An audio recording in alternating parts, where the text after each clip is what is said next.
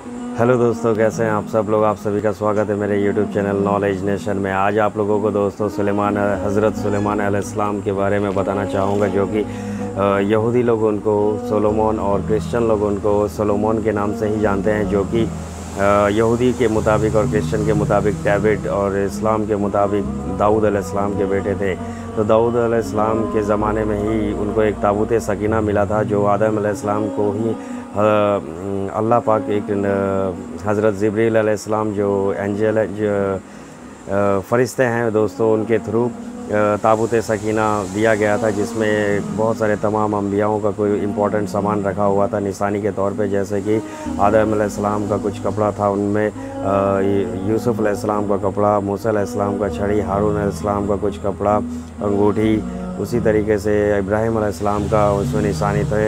याकूब अलैहिस्सलाम से होते हुए वो हज़रत सलमान अलैहिस्सलाम तक पहुँचा। सुलेमान अलैहिस्सलाम सुलेमान अलैहिस्सलाम जो हैं, वो उनके लिए एक हैकल सुलेमानी का निर्माण करवाएँ। बहुत बड़ा एक बिल्डिंग सिक्योरिटी के तौर पे लेकिन वो ज़्यादा दिन टिक नहीं पाया दोस्तों, क्योंकि हैकल सुलेमानी को बख्त नसर ने तोड़ दिया था और उसके बाद हैकल सुलेमानी को वहाँ से गायब कर दिया। उसके बेहरमती की तो उसके अल्लाह, कहा जाता है कि तथ्यों के हिसाब से कि अल्लाह पाक ने उस बेहरमती की वजह से हैकल सुलेमानी को कहीं अच्छे जगह पे, सेफ़ जगह पर छुपा कर रख दिया है, जिसकी खोज आज भी जारी है दोस्तों, लेकिन वो हैकल सुलेमानी आज भी नहीं मिल रहा है, और वो ज़रूर मिलेगा, एक दिन हदीसों के मुताबिक ज़रूर मिलेगा, क़यामत के दौरान क़यामत के ठीक क़यामत के दौरान ही मतलब जब क़यामत आने वाला उसके पहले वो मिल जाएगा।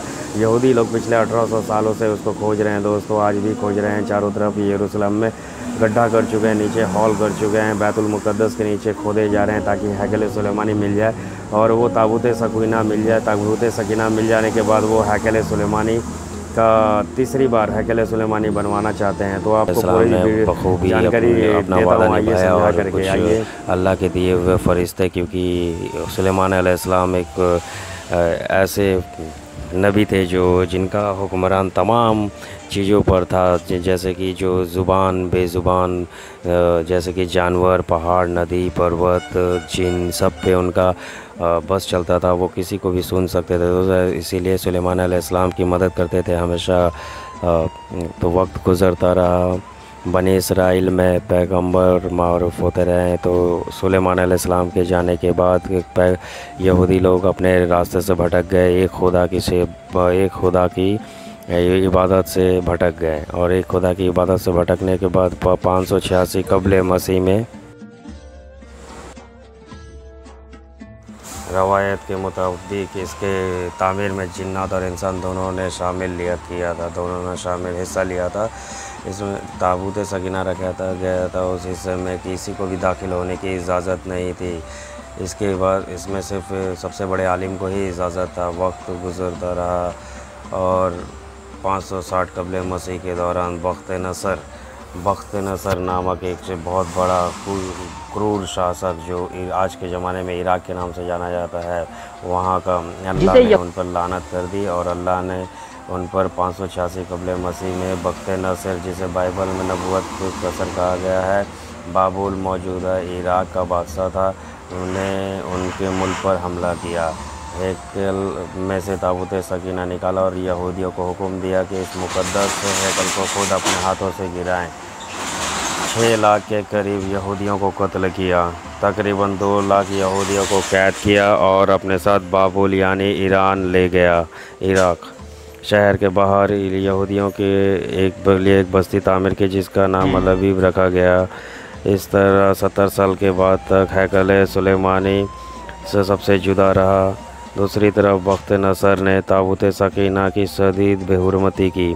इस हरकत का अजाब इससे इस तरह मिला कि 540 कबल मसीह में ईरान के बादशाह साइरस, जिसे मुसलमान जुलकरनैन कहते कहते हैं, बाबुल यानी ईरान, इराक़ पर हमला कर दिया और बाबुल के, बाबुल को शिकस्त देकर बाबुल के सुखन सल्तनत का राजा बन गए।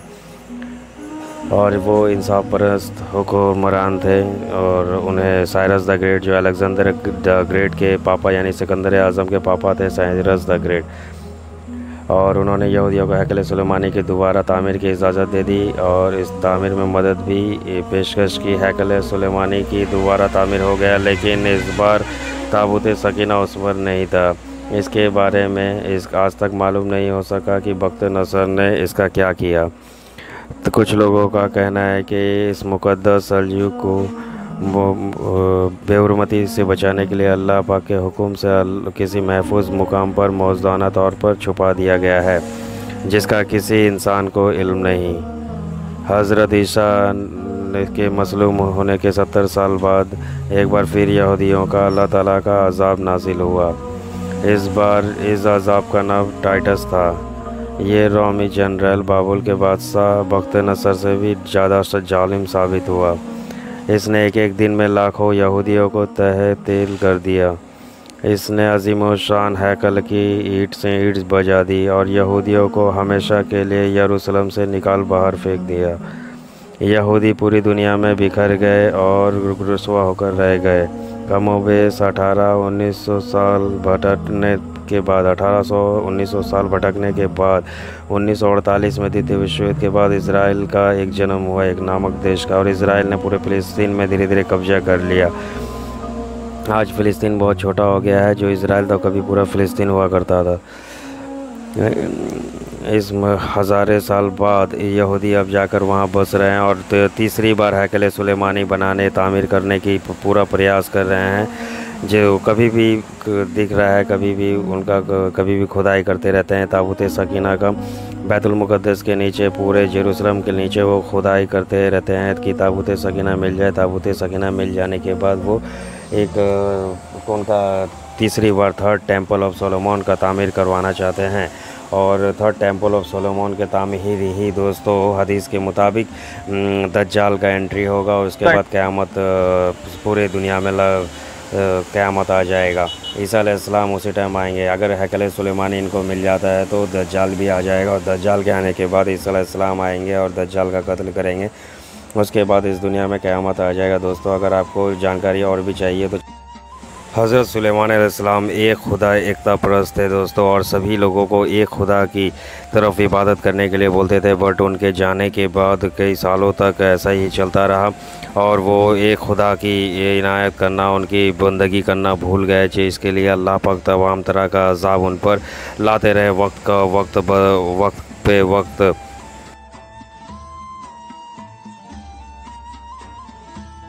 वक्त पे वक्त गुज़रता गया और हैकल सुलेमानी का वक्त नसर के बाद आज तक कोई पता ना चल सका। वक्त से है कहा जाता है कि हैकल सुलेमानी को बेहरमती की वजह से उसको अल्लाह पाक ने किसी सेफ़ जगह पर छुपा कर रख दिया और ठीक क़्यामत के अनकरीब ही अल्लाह पाक ही अपने हुक्म से उसको ज़ाहिर करेंगे। लेकिन यहूदी लोग उसको चारों तरफ़ खोज रहे हैं और पूरे यरूशलेम में चारों तरफ़ गड्ढा कर चुके हैं और ये ख़ास करके दोस्तों बैतु बैतुल मुक़द्दस जो कि मुस्लिमों का पहला किबला है बैतुलमुक़द्दस मस्जिद के नीचे भी चारों तरफ़ गड्ढा कर दिया गया है। हॉल करके उसे चारों तरफ़ ताबूत सकीना को खोजा जा रहा है ताकि वो थर्ड टेंपल ऑफ़ सोलोमान की तामीर करवा सके, तीसरी बार हैकिल सुलेमानी बनवा सके। याद रहे दोस्तों, पहली बार जब उन्होंने बनवाया था तो बख्त नसर ने तोड़वा दिया था, दूसरी बार टाइटस ने तो दूसरी बार के बाद से 1800 साल के तकरीबन गुजर चुका है। वो अब तक तीसरी बार हैकल सुलेमानी नहीं बनवा पाए हैं। 1948 में ही वो बसना स्टार्ट हुए इसराइल नामक देश से द्वितीय विश्व युद्ध के बाद से ही, जिसका सपोर्ट यूरोप, अमेरिका भी करता है।